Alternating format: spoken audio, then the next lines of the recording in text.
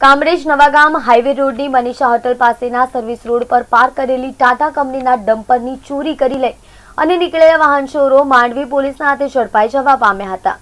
કામરેજના સહજાનંદ સોસાયટીમાં રહેતા દીપક કુમાર જોશીની કાલિકીનું ડમ્પર નવાગામ હાઈવે રોડના સર્વિસ રોડ પર પાર્ક કરવામાં આવ્યું હતું. તે વખતે વાહન ચોરો તેની ચોરી કરી ગયા હતા. જોકે આ અંગેની ફરિયાદ કામરેજ પોલીસ મથકે નોંધાઈ હતી. જ્યારે માંડવી પોલીસ મથકના પીએસઆઈ હેમંત પટેલની સૂચનાથી તેમની ટીમ માંડવીના ધોબણી નાકા પાસે વાહન ચેકિંગમાં હતા. તે વખતે શંકાસ્પદ ડમ્પર ટ્રકને અટકાવી તેની માલિકીના કાગળો માંગતા તે ચોરીની હોવાનું બહાર આવતા પોલીસે કામરેજના આંબોલી ગામ ખાતે રહેતા સરફરાઝ યાસીન પઠાણ અને મોહમ્મદ અલ્તા અલ્તાફ હુસેન કાદરીને ઝડપી પાડી તેનો કબજો કામરેજ પોલીસને સોંપ્યો હતો.